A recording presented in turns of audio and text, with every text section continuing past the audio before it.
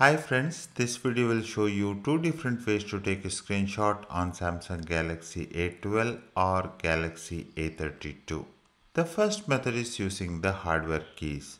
To take a screenshot using this method, go to the page you want to take a screenshot and quickly press and release volume down and power keys together. It will take the screenshot. Holding the volume down and power keys will bring the power menu. So quickly press and release the keys to save the screenshot. The second method is using the assistive touch menu.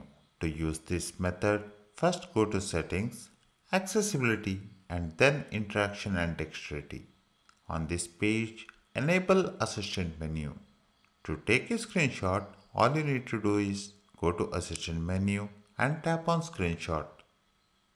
To take a scrolling screenshot or long screenshot, take a screenshot using any of the previously mentioned methods. Now you will get this screenshot toolbar with this down arrow icon.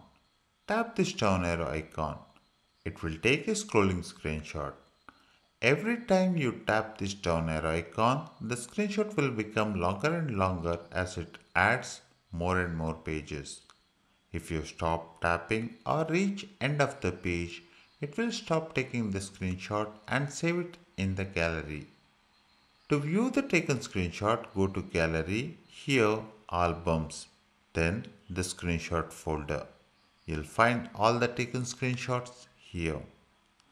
That's it for this video on how to take a screenshot on Samsung Galaxy A12 or Galaxy A32. Please hit the like button if you find this video helpful.